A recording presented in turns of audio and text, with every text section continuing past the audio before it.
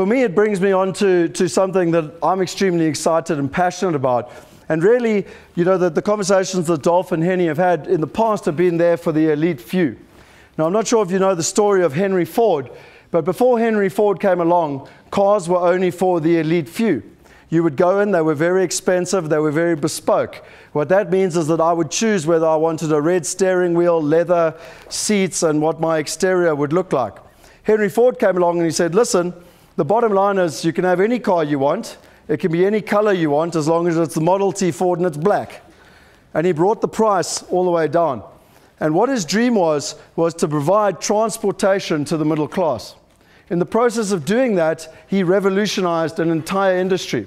For most of you who don't know this, I think I learned this from you, Dolf, I'm not 100% sure. But um, for most of you who don't know this, in, uh, in 1910, around that time, what were the top? There were five companies in America that were the wealthiest, and four of them came from one industry. What were they? Pardon? Oil, Oil steel, railways. It was the railways. And interesting enough, they had 80% of the market share uh, at the time. Today, you know, and, and Henry Ford was one of the major people behind it, he, he created trucks. And now trucks have 80%. And what's interesting with that analogy is that sometimes the biggest players in the market don't even, even see the revolution that is coming. And that's what excites me. Because just like the Arab Spring, whether people like it or not, once people realize the value to them, it's going to happen with or without compliance, with or without technology. Does that make sense? So I wanted to share with you uh, just a couple of things. The 20th century was all about literally people competing, winning at all costs, making money up front, our interests not being aligned, trying to sell you things, run to the back of the room and buy something now or get something if you uh, coaching or books or CDs, hidden fees, lack of trust, lack of transparency, unsustainable based on nature, and lastly, greed. A lot of the problems we've experienced in the last five years, particularly in the syndication and real estate market, is because of those 10 things. Most importantly, the hidden fees. If you knew you were investing 100 Rand and they were taking 26 Rand off the front end, that's technically bankrupt from day one. What about the 21st century? It's being based on nature's laws mutual gain. Our interests are aligned. We earn on the back end. You only earn after people have performed. It's about partnership. You have a complete financial understanding. The income was 100, the expenses were 50, I made 50, and how did it get distributed? Not 35 pages of financials that you need to have an MBA from Harvard to try and understand. Trust, transparency, and most importantly, social collaboration. I, interestingly enough, did my dissertation in 1998 at UCT on how IT was going to change computers and property. And I said then my synopsis was an old industry steeped in tradition, run by many smaller, disparate, and often inefficient operators, redefine it through the use of web technology, increase global reach, partnerships, and efficiency of scale, and basically provide a one stop, enhanced, and personalized service to our clients. Now, you got to admit, in 2014, that's fairly obvious. But in 1998, at the age of 20, that was a fairly ahead of the times. And I'm pretty chuffed and pretty proud that uh, it's taken us the best part of 16 years to get to the destination and get to the goal. You know, Wealth Migrate was formed in the crisis in, uh, in 2008. And the concept was formed because there was an awesome building in London. A whole lot of South Africans had made a bad mistake. And we could pick this building up for about less than 50% of what they bought it for more than three months before. The challenge is the building was fully built, fully tenanted. We just needed a cool, calm, collected 10 million pounds quickly. I tried to put my credit card through, but it wasn't accepted. So what we decided was we need to go out and find other like-minded people to make sure we could take advantage. Henny and myself met each other in 2009, and we embarked on a journey. We created the company in 2010, and the whole philosophy behind the company was the laws of nature. I mean, when you look at it, when you have birds flying in a flock, 25 birds flying in a flock can fly 70% further than one bird flying on its own. This bird at the front is taking all the strain, and these two on the outside are also taking the strain. But they don't do that. They swap all the time so they can go a lot further. in Anglo Saxon business and what we've been used to in the 20th century is that that guy is trying to make all the money and he's trying to screw all those guys to the right and sue all those people to the left. Michael Drew, I'd highly recommend a book called Pendulum. He talks a lot. We had the privilege of meeting this guy in October last year. He talks about the 40 year cycles and how you have to be ahead of the trend and basically how people are going forward now in terms of the 40 year cycle. And I've spoken about Henry Ford and the impact and what we want to do in terms of bringing it together and creating wealth and, and unlocking both residential, commercial, development, and international property to everybody. Our aim is to revolutionize and improve the property industry, like Google did for the internet, and to create massive wealth for all by 2015. We've got a fairly complicated mission, and I'm not going to go into it. It's simple. In phase one, it's all about dealing with a few sophisticated people. And then phase two is dealing with lots of people with less money. We started in Australia. Henny alluded to it. The results were really, really interesting, but it was based very much on a traditional model. Had all the right compliances and everything else, and it was all sophisticated investors. But the numbers were, were really, really compelling. We went to, to America and did a similar thing. But the challenge that we had was the legalities. We could see the car, we could, we could, we could visualize the car, but no one could build us the car. The lawyers told us we weren't allowed to drive the car on the streets. And we got more and more frustrated. The more we learned, the more frustrated we got. And so two things changed. The first one is that exchange control in South Africa loosened up, so we didn't have to do complicated things like asset swaps and everything else. And the second thing is that a thing called crowdfunding came about. And really, it's a really, really interesting story, but for many, many years, we were trying to solve the problem.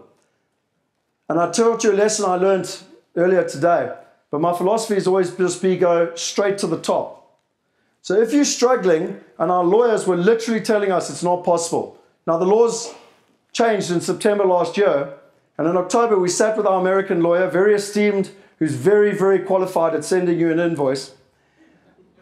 And he told me it's not possible. And I said, Well, and this was my direct question to him did you ride in on a horse? He looked at me, he was a bit confused. I said, Did you ride in on a horse? And he said, No, why? I said, Exactly. We all now driving cars. So we decided to use a different strategy this year. We went straight to the source. Where is the greatest innovation on this planet? Where is the greatest innovation on this planet? Silicon Valley.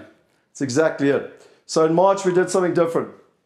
We decided to go to Silicon Valley and find the best people that could build us a car and the lawyers that could get us qualified so that we had a driver's license and we could drive the car. And without further ado, I would like to welcome up who really, for me, has become a good friend in a very short space of time. You know, I refer to him as the Mark Zuckerberg of crowdfunding. And with a very cheeky face like that, do you think he likes to abide by the 20th century laws? Could we have a huge round of applause for Joseph, all the way from Silicon Valley, America?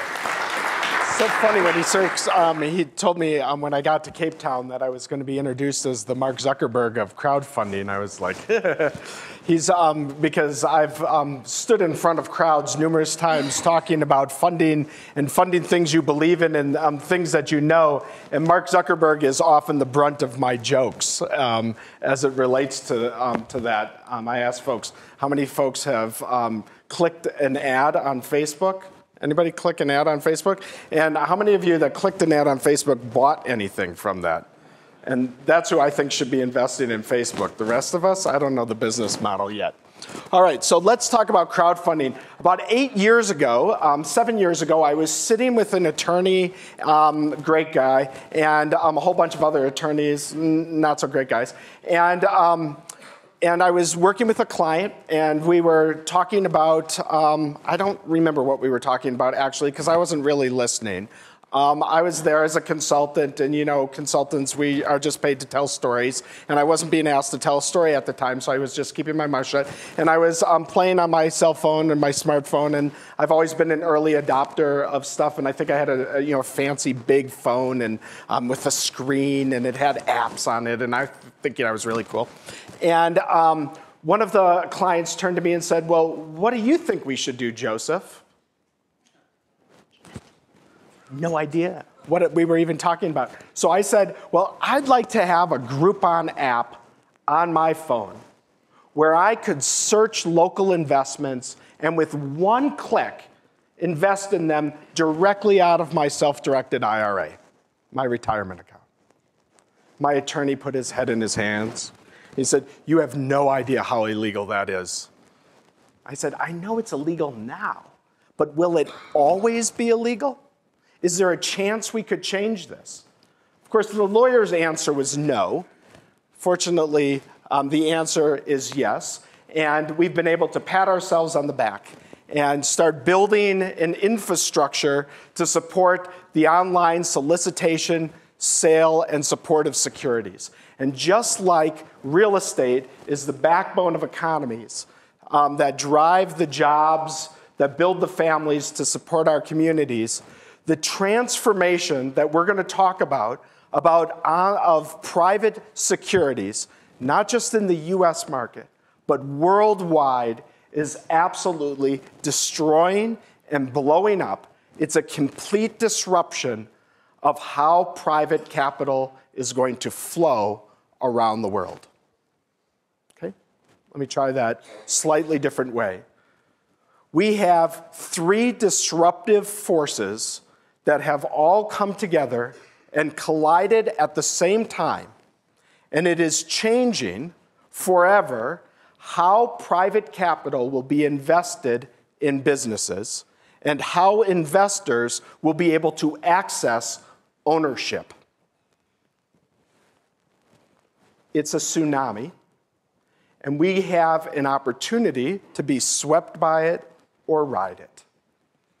One of my greatest business mentors um, was nearing the end of his life, and um, we were um, doing uh, memorials for him and thanking him for everything he had done for us. And he took me aside and gave me what turned out to be his last words of wisdom for me. And he said, You know, Joseph, business is an awful lot like surfing. And we're in Minnesota. There's not really very big um, surf waves um, anywhere nearby. And he said, You bob in the water for a long time, and you hope you are up more than you're down on the average.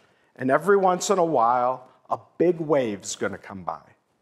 And it's your job to recognize it and jump on it. That's what we're talking about.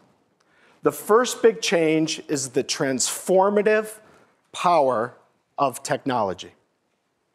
So we talk about it in um, broad general senses, but any of us that know specific industries where technology has swept through, we've seen a complete transformation of at a core the business models change.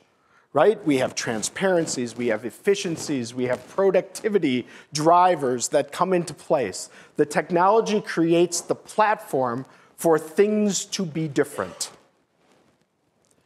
The second big change is the adoption of that technology by individuals. And that adoption, that wholesale adoption of the individual technology tools in finance and in the financial service space. So, where it started with trickles of I was just trying to get a date online, um, to now I was getting my information online, to now I was willing to actually buy stuff online. Now I was willing to do banking online. The leading edge of that change, trickling around the world, is that people are willing to do and move investing online with an E Trade account or an Ameritrade account. And now there's a unique opportunity for that technology to hit the leading edge of adoption because of a, regula- of a big idea perpetuated by a regulatory change. And the big idea is crowdfunding. It's such a new, fancy, fantastic term. What does it mean? It means a whole group of people aggregate their economic power, throw it in a bucket, and support a project, a business, or a company that they believe in. Right? So we pool our economic resources to get something done. Sounds like a really innovative new idea, right? You know, I went to um, one of my clients, she's an IT professional. She ended up joining us as the CIO of the company, and I, um, she worked at C.H. Robinson Worldwide Logistics. And I said, um, you know, I'm going to have to leave as a consultant. I'm doing this crowdfunding thing. And she asked me a little bit more about it. And she said, you know, when I grew up in China, the greatest possession, the greatest thing we could pass on to our granddaughter was the membership in the investment club, where the women got together, pooled their money, and funded one of the women's businesses. And you never went bad on that debt because you'd be ostracized from your community forever. Is that what you mean by crowdfunding?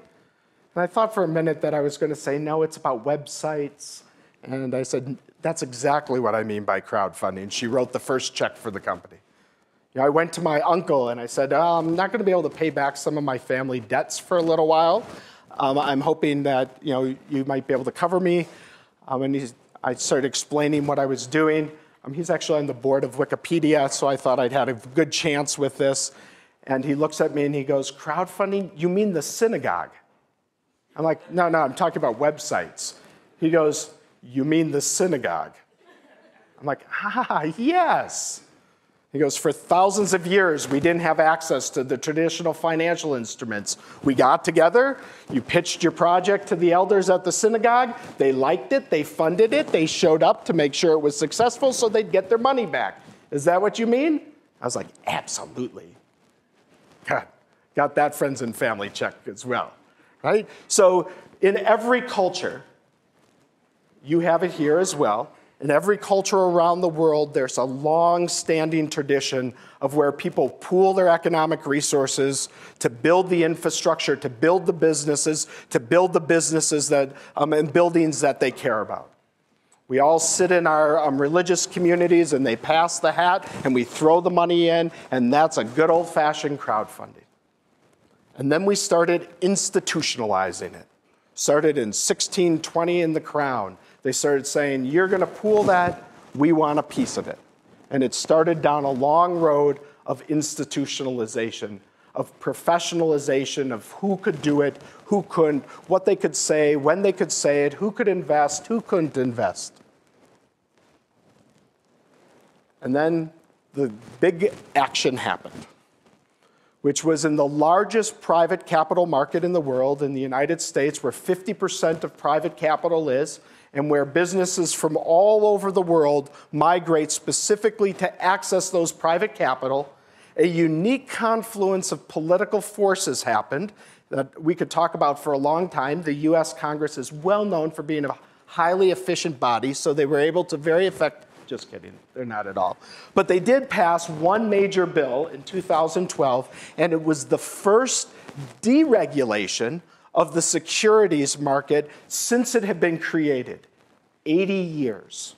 The first deregulation. They passed the Jobs Act. Um, you know, it wasn't really about jobs because that's what it was called. So um, they passed the Jobs Act in April of 2012. It has four titles, and I can get into the nuances and specificity of it. But the first rules were um, to approve one of the specific sections happened in 2013 and went into manifestation of August in September of last year. So we're talking extraordinarily new. It created a new classification of securities. And in fact, Wealth Migrate has on their website right now one of the very first of those type of securities available anywhere in the world. The first thing it did was it changed how you could talk about your security, to who you could talk about it. And the first time I could hijack any of these social media platforms and start talking about my investment. I didn't have to go through the gatekeepers. I didn't have to sign NDAs. I didn't have to have pre existing um, relationships. I didn't have to be a registered, authorized rep. They lifted the ban on general solicitation. So that I could stand up in front of a conference and tell you that I have a company that's raising $3 million on a 6.5% fixed note. It's a private security position, first position for the investors. Um, we're expecting a 16% IRR. And a year ago, I could be thrown in jail for saying that. And today, I can take out a billboard and solicit investors for that private investment. The second big thing it did is it changed who could invest. So previously, only accredited investors, or in some countries, it's the qualified investor. In some countries, it's the sophisticated investor. In the United States, it was the accredited investor. And in fact, if you were a non US resident, you had to meet US resident qualifications in order to participate in those private securities. So it meant that you had to have a net worth of $2 million. So that's a relatively small percentage of the population, even in the United States. And they changed the rules to create classifications of securities so that everybody could participate in the private securities market. So, what happens when you literally change the foundational rules for the selling of private securities, debt, equity, royalties. Changing royalties, who can fund movies or Broadway shows? Changing debt, who can participate in financing mortgages or working capital loans? Changing equity, who could own a piece of the new tech startup companies?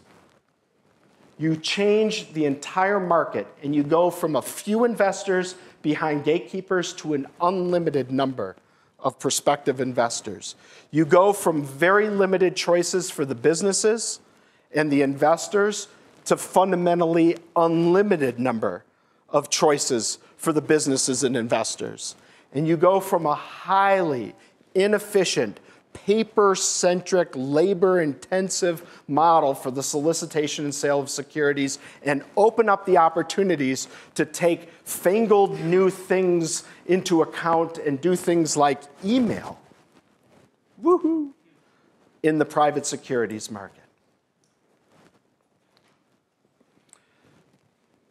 So, really quickly, kind of as a recap, really fast, before the law changed, and in places around the world, there were two kinds of crowdfunding allowed donations and premium. And donations were like those donations at the church that you gave. All right? Premiums were on sites like Indiegogo and Kickstarter. I believe there's local ones here as well, where you had an expectation of like the pre purchase of a product. We always joked it's the band model because some of the first crowdfunders in the premium space were the bands, musical bands. They didn't have the money to go into the studio, so they went to their fans and said, pre purchase my CD. And for 25 bucks, you can have the CD. For 50 bucks, you can come to our kickoff party. For 150 bucks, you can sleep with the drummer. Right? So they get their little premium levels, they raise their money, they go into the studio, they have a fantastic um, kickoff party because everybody had pre registered and was coming. Presumably the drummer's happy. And now they were launched. Technically, donations and premium live 100% in the gift space. It's not a security by any international standard because there's no expectation of profit or financial return. And then they opened the door to the double bottom line underneath and said, now you can do debt and equity, securities. You can start using those beautiful online platforms that we call crowdfunding sites to actually solicit and sell securities. So, at a core, very conscious of the time, we are having a complete flip of the business model for every company involved in the private security industry the lawyers, the accountants, the brokers, the dealers, the marketing people, everybody, they used to live in a space of low volume, high touch, few clients that they spent a lot of time with, and they made a lot of money from each of them. High margin. But what happens when that technology comes through and the efficiencies grow, and now I can talk to everybody? It flips the business model to very low margins. More money in the hands of the businesses, more of the investor money directly in wealth production. Low touch, meaning we're providing the tools for the investors to view and see and do their own due diligence. We're shutting off the gatekeepers that um, between the due diligence that is happening and the due diligence the investor can see. We create a low touch system. And to make up for that, we have to get to a high volume space. So instead of picking the 150 businesses that get private capital funding in Silicon Valley every year, now they're going to be looking to how they fund 15,000. And it completely changes the analysis and the networks of who gets to decide worldwide what businesses grow and what businesses don't grow. So, my company is building back end platforms, the sophisticated back engines that will be fully compliant. And this afternoon, we're going to show you the Wealth Migrate platform that we've built for them, where we can actually, on our cell phone today, log into the Wealth Migrate account, register, set up, qualify, set up a bank account in real time, um, a trading account in real time at a US bank through an LLC, and make a commitment to one of the Wealth Migrate products we've talked about, all on your phone today. But in no other market worldwide will crowdfunding be as transformative? Will the market forces unleashed by crowdfunding be more dramatic than in real estate? Because unlike that beautiful Facebook stock, when I buy a piece of a medical building, I own something real and there's liquidity for it.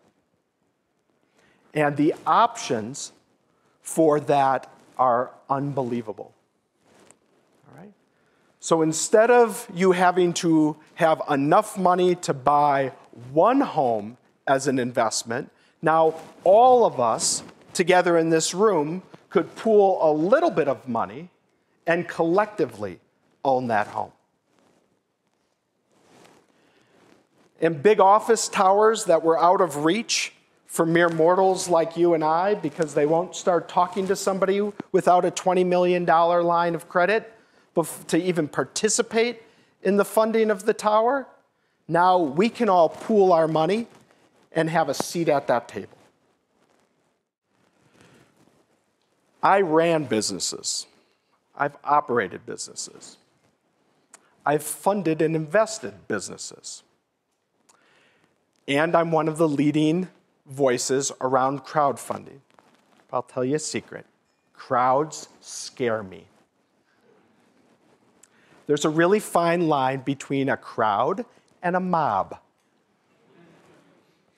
And I'm not a huge believer in the concept that many of the evangelists of crowdfunding talk about of the emerging crowd wisdom. Might be because I had a previous career in politics and I saw that the majority rarely picked the right person. Um, but we had, because we come out of, and our company came out of we shared a core value that there, could, that there was a way to do this that protected investors and protected the business. And we focused rather uh, than on crowds made up of gross numbers where we're just peeling off small percentages to how we build communities. Name of our company is Community Leader. We focus on how you build communities. And that's why we form partnerships with groups of experts like Wealth Migrate that's focusing on how do they know that community in Atlanta?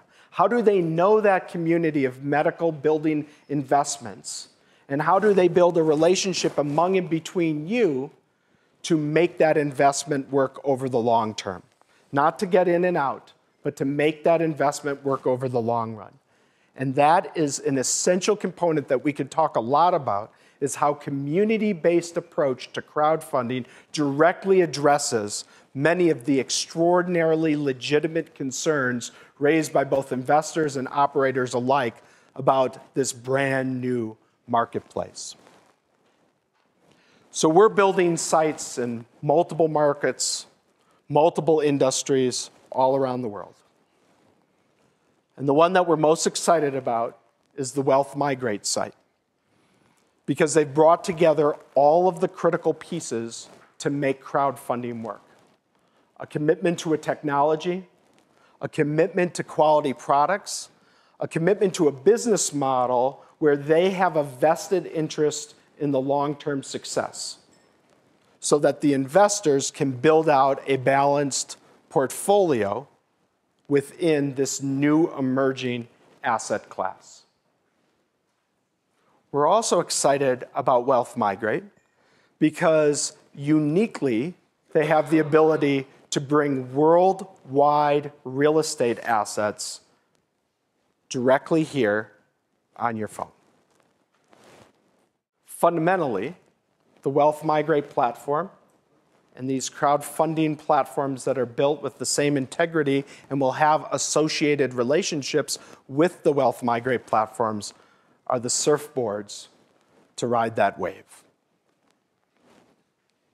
and put a whole new world of investment opportunities directly in your hands. And that's the power, the transformative power of crowdfunding for real estate.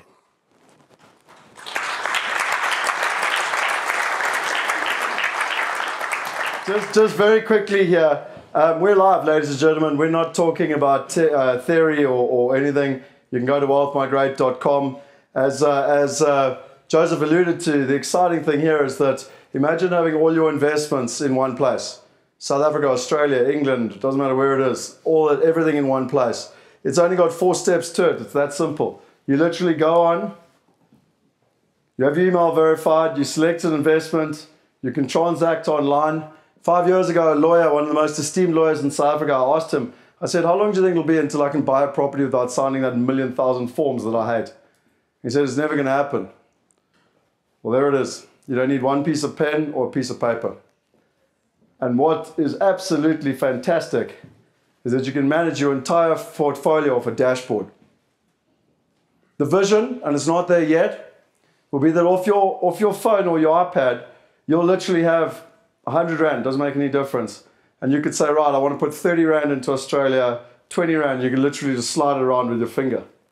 Well, to watch all your portfolios. Imagine if you could say to yourself, using some of the technology of Dolf, it's like, I want to retire, taking what RJ said, I want to retire in 10 years. And you could slide it around based on all the different assumptions and all the different technologies that we've got. And suddenly your year to retirement changes from 7.2 years to 13 years because you maybe didn't take Rand devaluation into account. How cool would that be in terms of where this is all going? I mean, if you look here and you go up, as you spoke about, just some of the investments that literally can go in. You, you've seen the gentleman, Dolphin Henny, going through it. The, the level of due diligence is at a level that, that most people just have no idea about. And yet, it'll always be improved upon as well. And that's what Joseph said is that no matter who we partner with, it'll almost be like a McDonald's model where we will not partner with people unless they abide by the principles upon which we work. The most important one being that our interests are aligned, backed up by trust and transparency. You can go in there now and 20,000 Rand you can invest with Arjo. In the future, imagine being able to buy medical buildings anywhere in the world off your dashboard, off your phone. But in the old days, this is how it used to work. Joe Soap wanted to invest in real estate. But to do that, he had to go and speak to a financial advisor or a broker who charged 1.1 to 2%. That then went to a pension fund. Now, as a pension fund, they would take anywhere from 1% to 2%. Then it would be a private equity fund that they would invest with. They're generally taking about 2% and a 20% performance fee. And then they deal with real estate brokers, both buying and selling, for 1% to 3%. They've forgotten the guys that organize the finance and the acquisition fees and all of the fees in the process. Now, what is the name for all those fees? Robbery? Well, if you're from econo- if you're from Silicon Valley, you've got to have a much more sophisticated term. It's called economic leakage. Joseph's term, I'll give him credit for that.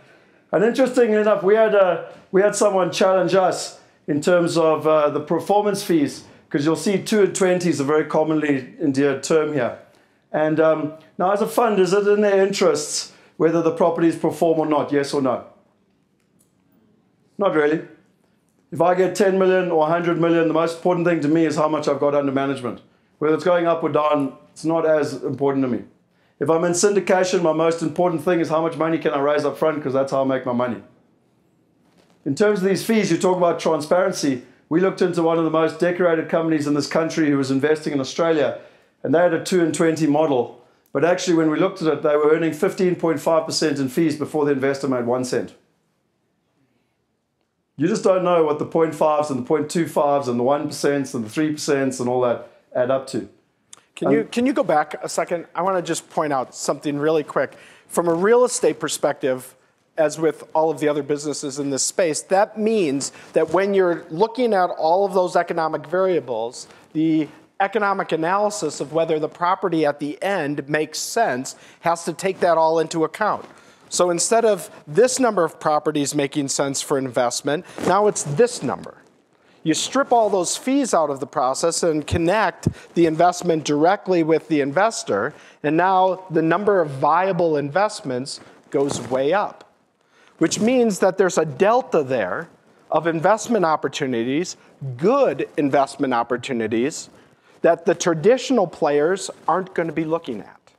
It's amazing he says that because the, the gap that uh, we found in the States, as an example, is between 1 and $10 million. Above $1 million, the mom and pops, the doctors, and the dentists can't afford to invest. And below $10 million in capital, the hedge funds don't want to play because it's too much effort to get involved. Fantastic. We've got no one to fight with. It's exactly what you're saying in terms of where you are. And really, where it allows you to play now is that Jill Soap wants to invest in property through the use of the internet. There are no fees, purely performance fees that are earned after the target return has been achieved. Trust, transparency, and interests being aligned. Now, you've got to admit, this is pretty exciting in terms of where the world's going. Yes or no? Yes. What is the challenge that we've got? And I'd like uh, Joseph just to finish off with this. The challenge we've got is that I'm almost sure in the next day or two I'll be getting a nice little email from uh, my good friends in the compliance department. Because how do you take 21st century technology and match it with 20th century laws that were created by industries to protect financial advisors in jobs where they add no value. So, what I found fascinating is that when you work with the best in the world and you work with the best in Silicon Valley, our, our website went live last Tuesday. We applied to the SEC on Tuesday morning, and if you can read this email, it says the following submission has been accepted by the US Securities and Exchange Commission. Now, quite what I find very interesting is that America is 22% of the world's GDP with 29% of the world's wealth, with 4.4% of the world's population. South Africa is 0.07% of the world's GDP with 0.05% of the world's wealth, with some inconsequential number of the world's population. The SEC is around the world, and I'd love you just, Joseph, to finish off with this and explain it is recognized as the number one compliance and regulatory environment in the world. You can legally actually choose to rather have your money protected by the SEC than by the FSB or anyone else for that matter. And if you wouldn't mind just explaining that and unearthing that a bit, because this is where the barriers to entry and the compliance is going to fall down all over the world. Because if you've already got approval from the best in the world, my question is why wouldn't some of the subsidiary organizations look at what is in the best interests of people that they're trying to serve. So I'm going to answer this, um, kind of illuminate on this point in two ways. The first is to um, tell you a story. I, I wrote a, um, a, report, co-wrote a report for the Inter-American Development Bank, which is uh, um, an international bank um, covering both North and South America. It was founded when NAFTA, which was a free trade agreement between all the countries, all the countries pooled some money to drive economic development for those that might get left behind by the new trade laws. So I wrote a report for them, um, which you can get online, about um, how crowdfunding could be used to drive economic development in the underdeveloped world with an emphasis initially on Mexico. One of the things that the Mexican government pointed out and we discovered was because of how the securities laws were structured, a Mexican business that wanted to raise money would talk to their Mexican investors. And the Mexican investor would look at it and say, um, I need my um, self covered and protected, so I need you to offer this security in the United States. So the Mexican government or Mexican company would walk over to a securities um, team in the United States and actually list the security in the US market. And the US market, being an attractor of private capital, has an entire structure set up for that called the foreign entity exemption. You don't even have to be a US based company or a US based asset to sell, elicit and sell securities within the US structure. So a Mexican company would file that exemption, and then guess where they'd go for their investors? Back to Mexico and get all the investments there. But both of them felt protected by a new economic exchange market. Well, they could do that because it was close. It physically was close to make that all work. Now, with the internet, we can aggregate all of those countries together. So Wealth Migrate can find the best securities laws for soliciting their investments that are responsive to them as an issuer and protect their investors. So what we're going to see in the next eight to you know, five years is the first emergence of international security standards. And it's going to be all constructed around the foundational principle of the democratization of financial capital. That all of us should have an opportunity to invest in the businesses that we care about, and all of us should have the same access to the wealth generation engines. I mean, just on a finishing note with what he's saying, we sat all weekend, the whole team, the whole investment team with Joseph, and, and agreed the future. And um, I think it's amazing and remarkable that uh, he was prepared to come out to South Africa, which, uh, you know, round of applause to you, dude, because I really, really, uh, for me, it's amazing. Like, but um, I mean, guys, I didn't, I didn't expect you guys to be able to share this personally. We all got to share it and experience in America. But um, in the next six months, we'll be rolling out South Africa, the UK, Australia, Singapore, Hong Kong, Taiwan, Brazil, the Netherlands by the end of November. We're missing one out of the six continents, and one of uh, Dolphin Myers' tasks has to be to go and find an igloo in Antarctica. but seriously, by the end of this year, you on your phone will have access globally, both inward and externally, in terms of where this is going. And the really, really exciting thing, and it's not quite there yet, but imagine the bridge where people in the emerging world can invest in the first world in good quality assets, not rubbish, and get passports. Or people in the first world can invest in the emerging world where there are far better returns and eliminate the currency. Well, ladies and gentlemen, that's the future. That's where we're going. This man's an expert on, uh, on EB5s and uh, passports and residency. And uh, in the very near future, one of our targets is that you can invest in Sydney, London, or America in good quality assets and businesses and be able to get passports where you're not buying a boat, you know, hoping to get a passport because you know you're getting a bad investment in the process.